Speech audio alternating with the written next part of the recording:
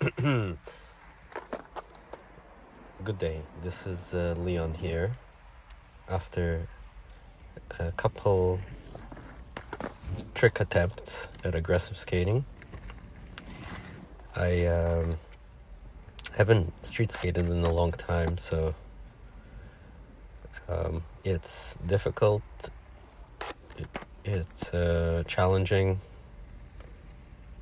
Um, I totally respect people that uh, to do it, and I want to do more of it, but uh, I'm having a hard time deciding if that's how I want to skate.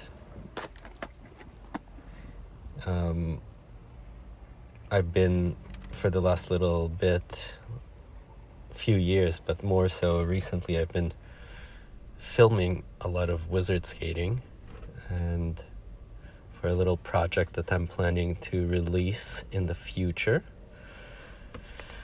Uh, so I've been doing a lot of this kind of style self filming and it's been fun and I've been doing uh, I feel like I've been getting a lot of clips and figured out a good rhythm to film um,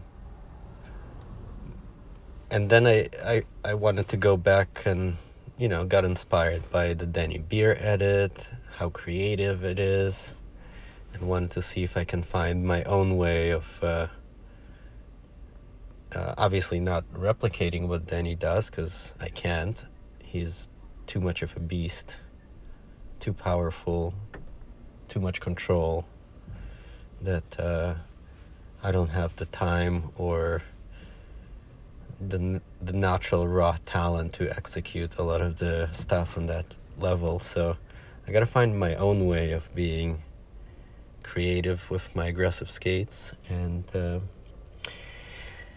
it's really challenging. Yeah, after yeah after you know maybe I skated maybe for an hour and then I drove around and looked for spots I guess just the act of aggressive skating forces me to get in my car and drive around and look for spots versus and with the way I've been filming with wizard skating.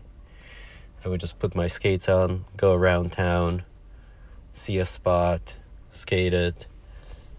Or it didn't even have to be a spot. It could have been just a nice um, nice backdrop and I would try to challenge myself of doing a trick on on the ground, something that I haven't done before. Where with aggressive skating, uh, yeah, at least that's how it is for me at the moment. Um, feels like I need to find a spot in order to show my skills, in order to kind of replicate tricks that I've done before. Maybe just a stage that after skating for many years. Um, maybe it's it's harder to come up with new things, or it just yeah, your mind seems to be going in the same direction. You look for similar spots. You choose to do similar tricks. I don't know. Anyway, some thoughts for the day. Hope you enjoyed it. Thank you.